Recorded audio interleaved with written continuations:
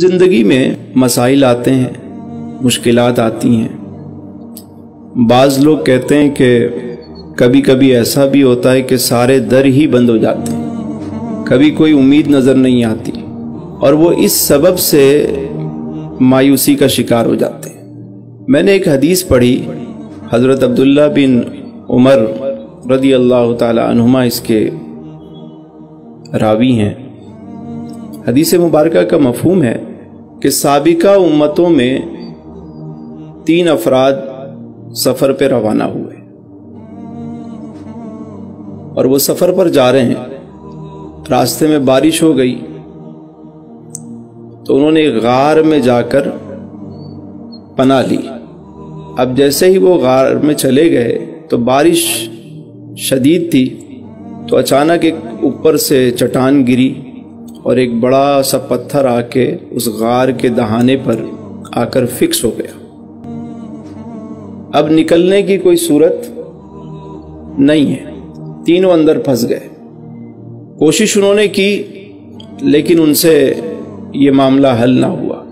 तो तीनों ने आपस में मशवरा किया कि हम में से जिसने भी कोई काम अल्लाह के लिए किया हो तो उसके वसीले से हम दुआ करते हैं, अल्लाह करम फरमाएगा। याद करो, सबसे पहले एक शख्स ने दुआ की, उसने हाथ उठाए। उसने कहा, बारी ला, मेरे वालदेन ज़यीफ़ हैं, तू जानता है। और मैं रोज़ाना काम से जब वापस आता तो दूध निकाल के पहले अपने वालदेन को पेश करता। उसके बाद अपने बच्चों को और अपने गुलामों को देता। मेरे मालिक, तू जानता है कि एक दिन मुझे देर हो गई। जब मैं घर पहुँचा, मैंने दूध निकाला। जब अपने वालदेन के पास पहुँचा तो वो सो चुके थे। मैंने उन्हें उठाना मुनासिब ना समझा, खड़ा रहा। जब सुबह हुई, बेदार हुए, मैंने उन्हें दूध पेश किया। हती कि रात को बच्चे शोर मचाते रहे, लेकिन मैंने उन्हें पहले दूध नहीं दिया। सुबह वालदेन को दूध पिलाया, फिर बाकियों को। मेरे मालिक, अगर ये काम मैंने तेरी रजा के लिए किया है तो हमारी इस मुश्किल को आसान कर दे।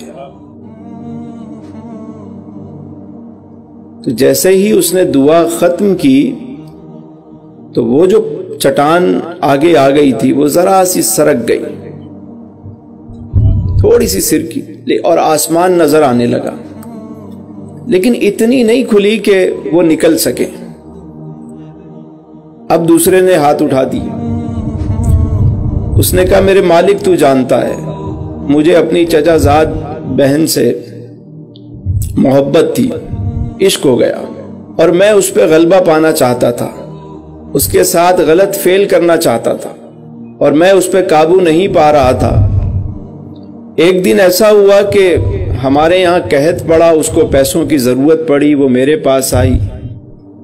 मैंने इस शर्त पर उसे सौ अशरफियाँ दी कि तुम मेरे साथ तन्हाई में मिलोगी। उसने वो शर्त कबूल कर ली, मैंने उसे पैसे दे दिए। और जब वो मेरे करीब आई, मैं उस पर गलबा पाने लगा। तो मेरे मालिक उसने कहा कि तू अल्लाह से डर। और ऐसा न कर, मेरे मालिक मैं पीछे हट गया और मैंने ये काम छोड़ दिया। मैंने उससे पैसे भी नहीं लिए, अशरफियाँ भी नहीं ली। मैंने ये काम तेरी रजा के लिए किया मेरे मालिक। अगर ये फेल मैंने तेरी रजा के लिए किया है तो मेरे मालिक हमें आज इस मुश्किल से निजात देते हदीस मुबारक के अल्फाज हैं कि वो चटान जो है वो थोड़ी सी और सरक लेकिन अभी भी रास्ता इतना नहीं खुला कि वो बाहर निकल सके। अब तीसरे की बारी आई। उसने हाथ उठा दिए।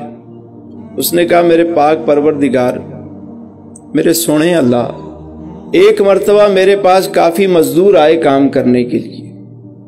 सबने मजदूरी की और जब उजरत का वक्त आया, मैंने सबको पैसे दिए। मगर एक शख्स ने वो पैसे नहीं लिए। और वो चला गया। मैंने उसके माल को महफूज रखा और उससे मजीद तिजारत की, गल्ला उगाया, उससे जानवर खरीदे, उससे बरकत हो गई। काफ़ी वक्त गुजरा कि वो शख्स दोबारा लौट कर आया। और उसने कहा कि वो जो मेरी मजदूरी थी, वो दो। मैंने मेरे मालिक कहा कि तुम एक काम करो, ये जितने जानवर हैं ये भेड़ बकरियाँ, ये गायें, ये बैल, ये सब ले जाओ, ये सब तुम्हारे हैं। उसने कहा कि अल्लाह से डर मुझसे मज़ाक क्यों करता है? तो मैंने कहा कि मैं तुझसे मज़ाक नहीं कर रहा। ये सब तेरा है, तेरे ही माल से इसमें बरकत हुई है, ये सब तेरा ही है, तू ले जा। मेरे मालिक वो सारा माल ले गया हत्या कि उसने एक जानवर भी ना छोड़ा, सब ले गया। अगर ये काम मैंने तेरी रजा के लिए किया है तो मेरे मालिक आज हमें इस मुश्किल से निजात दे दे। जैसे ही उसने दुआ खत्म की, वो पत्थर जो है वहाँ से हट गया और वो तीनों बाहर निकल आए। इस हदीस मुबारक से हमें कई बातें सीखने को मिली। एक तो ये कि अगर कभी अचानक ज़िंदगी में आपको लगे कि सारे दरवाजे बंद हो गए। कोई ऐसी रुकावट आ गई, कोई ऐसी नागहानी आ गई कि आपको लगा कि सारे दरवाजे बंद हो गए। सबील की कोई सूरत, रोशनी की कोई सूरत, उम्मीद की कोई सूरत अगर आपको नज़र नहीं आ रही तो उस वक्त फिर यह काम है कि आपने मुसल्ला बिछाना है। और अपने परवरदिगार से दुआ करनी है। बात समझ आ रही है? अपने रब से दुआ करनी फरियाद करनी है कि मालिक, मेरे लिए तो ये चीज़ बहुत बड़ी है। मेरे, मैं कमज़ोर, नातवा, ये परेशानी बहुत बड़ी है मेरे लिए। मेरे मालिक, तेरी ज़ात ला महदूद तेरी ताकत ला महदूद मेरे लिए ये चीज़ बड़ी है मेरे मालिक।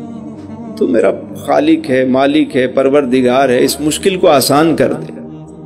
और दुआ में कोई ऐसा वसीला पेश करें जो फ़कत अल्लाह के लिए हो। कोई ऐसा ताल्लुक जो फ़कत अल्लाह के लिए होना चाहिए। लोग कहते हैं, बाज हजरात कहते हैं कि हमें कोई रास्ता नज़र नहीं आता, हमें तो कोई दिखाई नहीं देता, कोई कोई चीज़ नज़र नहीं आ रही। मैंने कहा, जब कोई चीज़ नज़र नहीं आती, जब ही तो वो नज़र आता है।